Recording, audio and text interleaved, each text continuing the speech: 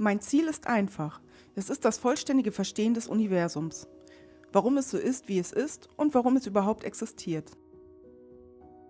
Wenn Aliens uns jemals besuchen sollten, denke ich, ist das Ergebnis so wie bei Christopher Columbus und seiner ersten Ankunft in Amerika, was nicht sonderlich gut für die amerikanischen Ureinwohner ausgegangen ist.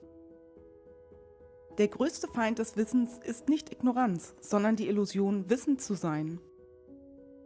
Wir laufen Gefahr, uns aus Gier und Dummheit selbst zu zerstören. Zu fragen, was vor dem Beginn des Universums war, ist so sinnlos wie die Frage, was ist nördlich vom Nordpol? Das Leben wäre tragisch, wenn es nicht lustig wäre.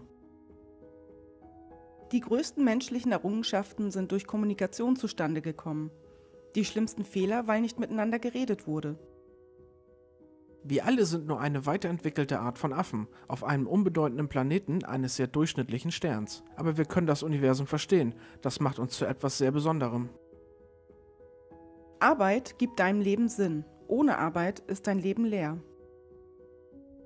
Intelligenz ist die Fähigkeit, sich dem Wandel anzupassen.